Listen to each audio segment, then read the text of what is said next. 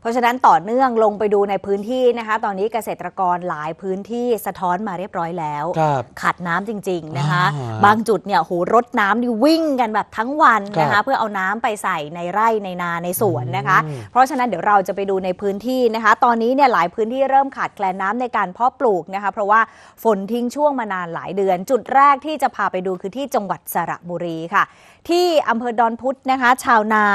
ในหมู่ 5 หมู่ 6 แล้วก็หมู่ 7 ที่ตำบลบ้านขออภัยตำบลบ้านหลวงนะคะ ต้องช่วยกันระดมเครื่องสูบน้ำเร่งสูบน้ำจากคลองหนองมน ส่งไปยังคลองชลประทาน เพื่อนำน้ำเข้าแปลงนา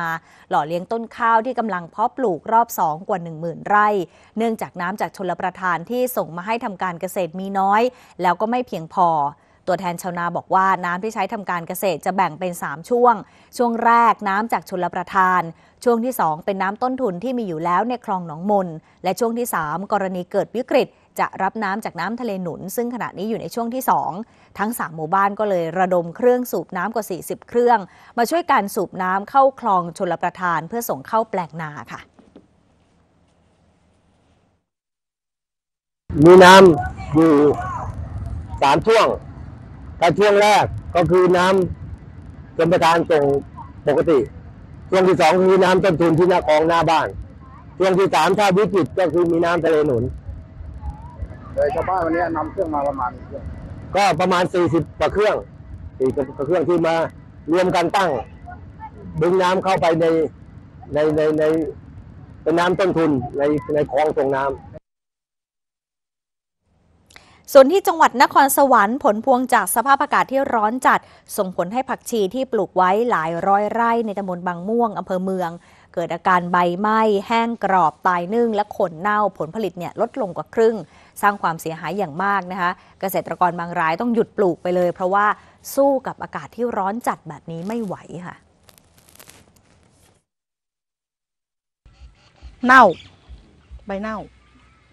เน่ากกอะ แทนที่จะได้มันก็ไม่ได้ ก็ต้องตบลงมา เห็นเห็นเลยอะ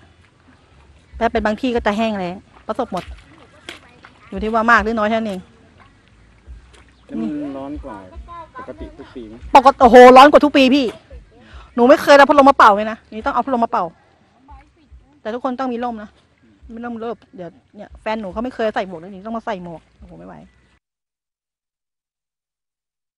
เนี่ยนะคะเราไปเดินตลาดวันนี้เนี่ยเมื่อช่วงข่าวเที่ยงก็นำครับเสนอไปใช่ไหมอืคะมว่าไปดูในตลาดผักชีครับราคาขึ้นใช่ขึ้นเพราะอะไรก็เมื่อสักครู่เกษตรกรสะท้อนไปแล้วอืมที่มีอยู่ก็แทบจะเอาให้รอดไม่ไหวใช่ครับมีต้นทุนต้องเปิดพัดลมให้ด้วยอย่างเงี้ยอ๋อนะคะฮะค่าแล้วหลายไฟไหนเออ